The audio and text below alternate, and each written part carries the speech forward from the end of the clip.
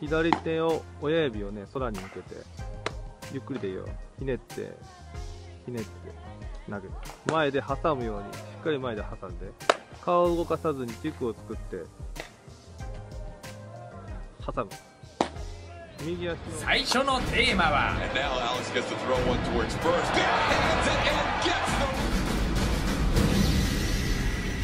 アハンドキャッチ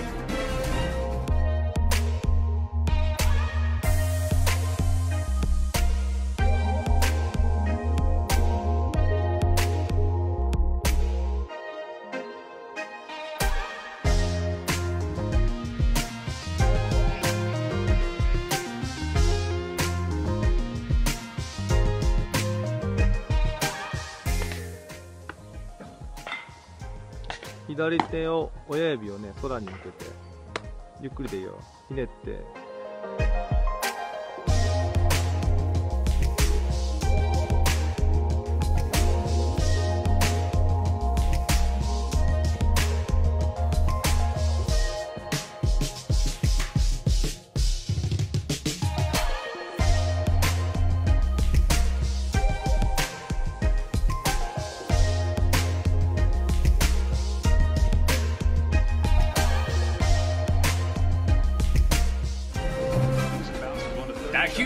で取りそのままスローイング。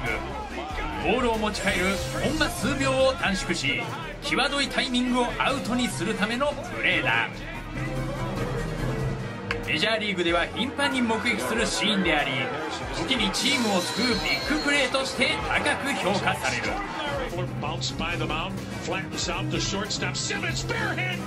だが日本ではめったにお目にかかれない。それはなぜか。アウトを取るために確実性を求める日本ではベアハンドの速さより失敗のリスクを重く見る。一方アウトを取るためにスピードを求めるメジャーでは失敗を恐れず積極的にベアハンドを使っていく。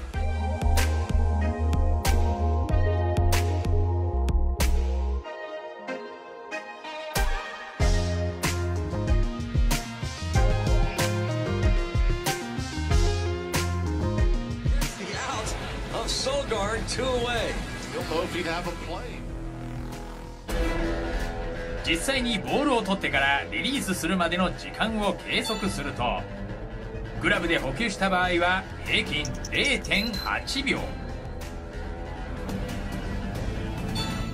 ベアハンドで補給した場合は平均0.5秒。わずか0.3秒の差だがランナーの走る距離に置き換えるとおよそ2.5メートルもの違いになるのだ。ではここでベアハンドキャッチが抜群にうまい。現役メジャーリーガートップ3を見ていこう。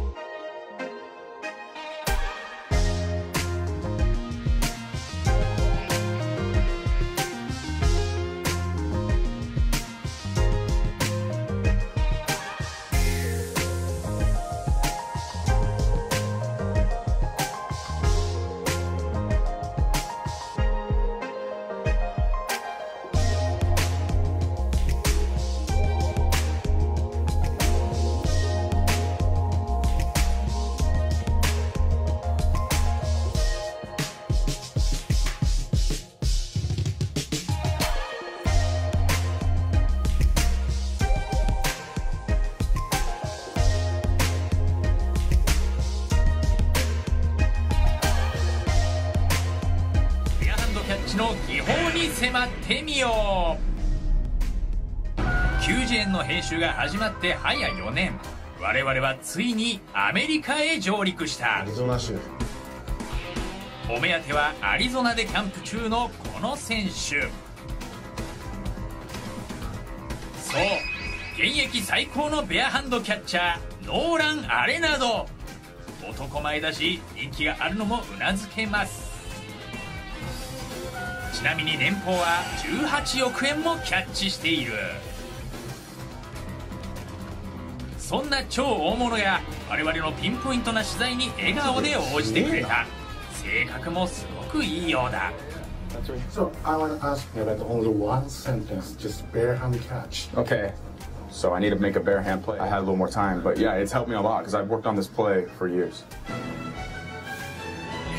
子供の頃俊敏に動けなかったため身につけたベアハンドキャッチ今も毎日練習しているというが一体どんなテクニックを磨いているのか You know, so it doesn't like crush my fingers. So I make sure I have my palm flat, and when I bare hand, you know, I, I try not to, I try not to get it like this. I try to make sure that my hands are flat. Catch it like that. It has you have to like bring it in soft hands. So, so because if you kind of go hard, it's gonna bounce out. So it's yeah, I agree with that analogy of it's you gotta be soft with your hands and like caress it in a way instead of you know just grabbing it.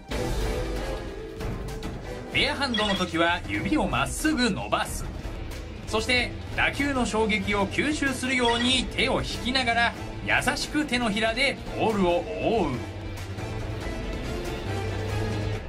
I don't want to grip it, grab, it, just making sure you get a hold of it, and then on the way, you know, when you make your throw from the bare hand, you find a way to turn it over and make a good throw.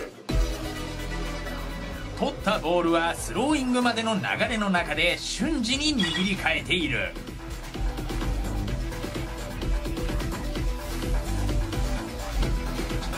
さらに間に合うかどうかギリギリの緩い打球に対してはまた違うベアハンドのテクニックを駆使しているというハンドキャッチの極意現役最高のベアハンドキャッチャーアレナドがお手本にしてきた一人の名手がいる Omar Vizquel is probably one of them. Uh, yeah, you know, I, I watched a lot of video on him, and uh, he was obviously one of the best. オマー・ビスケール現役時代ゴールドグラブ賞に11度輝いた伝説のショートストップ。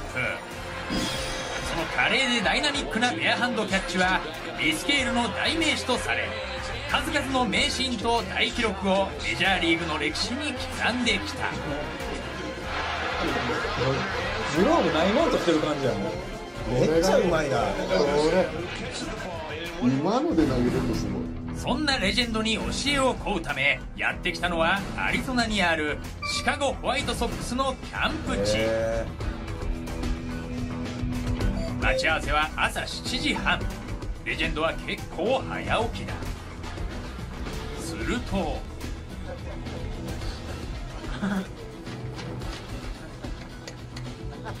ベアハンドキャッチだ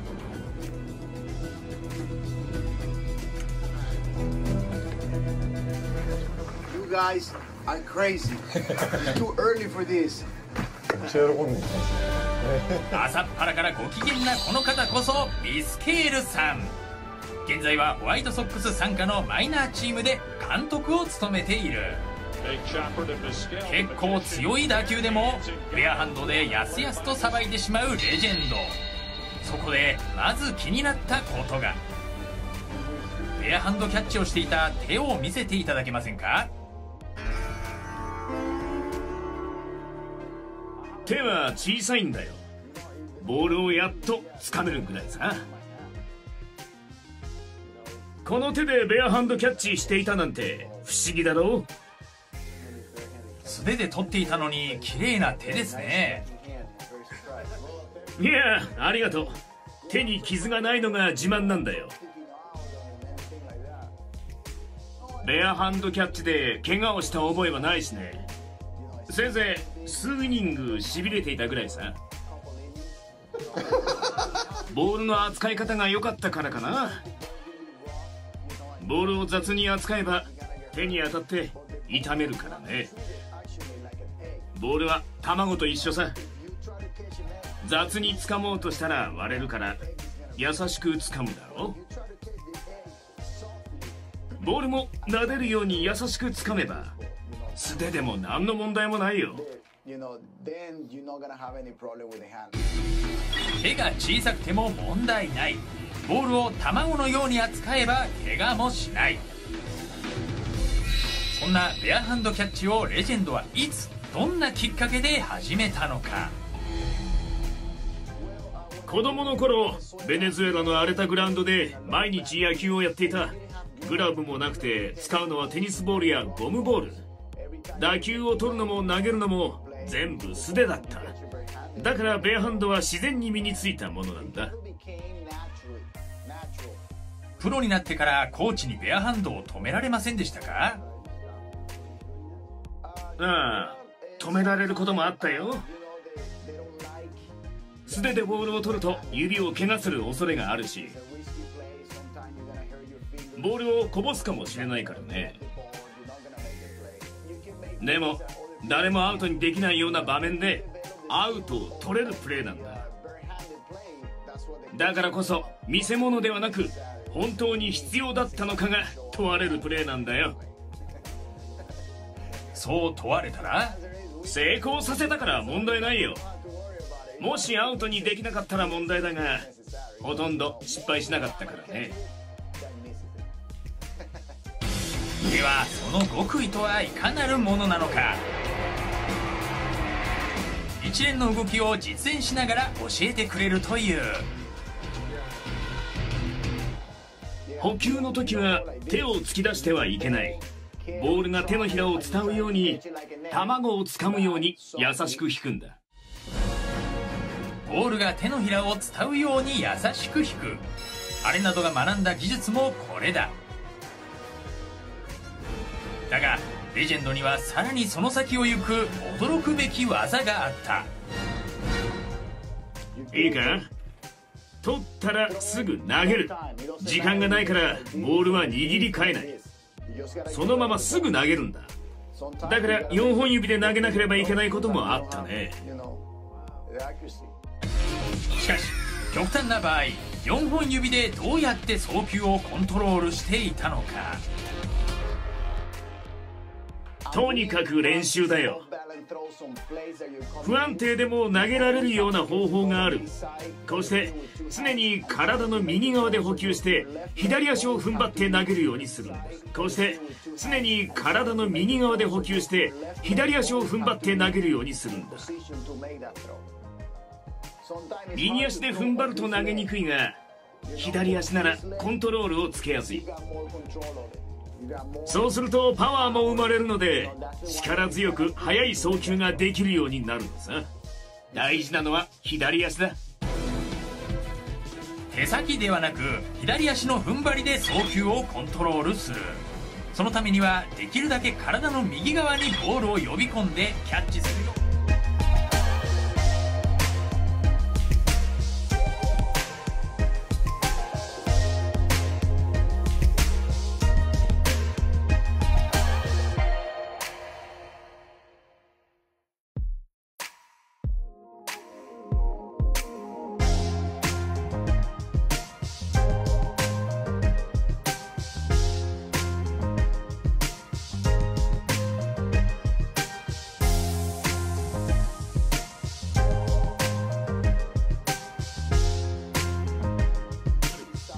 して常に体の右側で補給して左足を踏ん張って投げるようにするんだ。右足で踏ん張ると投げにくいが左足ならコントロールをつけやすい。そうするとパワーも生まれるので力強く速い送球ができるようになるんださ。大事なのは左足だ。手先ではなく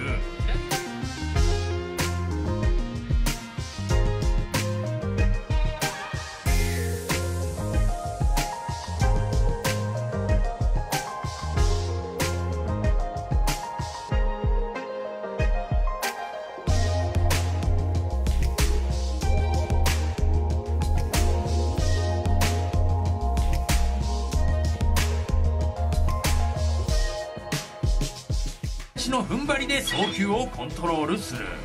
そのためにはできるだけ体の右側にボールを呼び込んでキャッチするよう心がけていたという。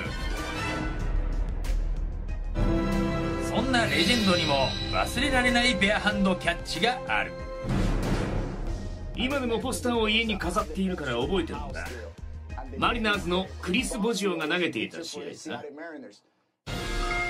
それは1993年4月22日。マリナーズのピッチャークリス・ボジオが。レ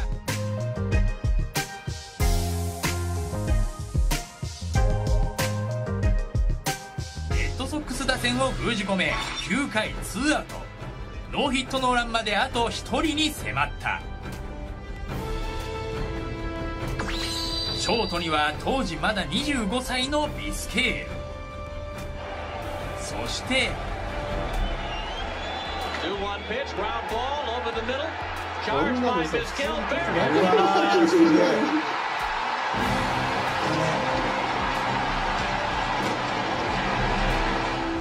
記録のかかった大事な場面でビスケールは躊躇なくベアハンドキャッチを繰り出しノーヒットノーランをアシストしたのだ